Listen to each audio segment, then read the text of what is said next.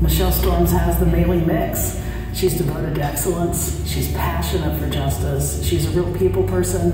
She leads with her head and her heart. In the work that I do right now, what means so much to me is helping them to see how they can use their law degree to make society and the world actually a better place and more equitable and fair. She is the kind of person, the kind of leader that makes it possible for everybody to see their own potential and achieve it.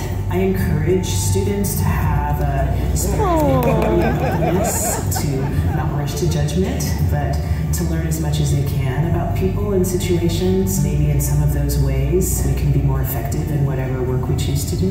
What I love about what she does is that she's constantly giving back. It's always about the causes and the people that she can help. So compassion and justice and equity mean a lot to me. So to be getting an award in the name of someone leadership and search for justice, means to me really. It is just the highest honor I can think of and I'm really humbled.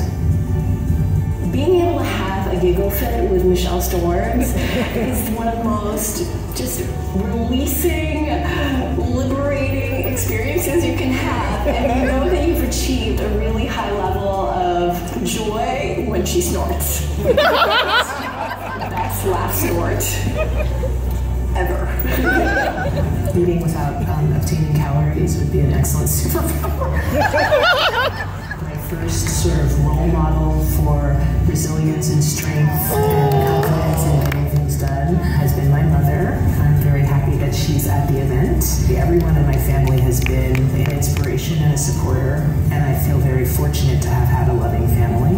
We have so appreciated the service of Michelle Storms at the University of Washington School of Law. She's us, including the leader for public service and most recently our dean for students. We're going to miss her deeply. At the same time, I know she's called to keep working for justice and to lead and be a part of the ACLU. That will be a wonderful fit too, and we wish her all the very best.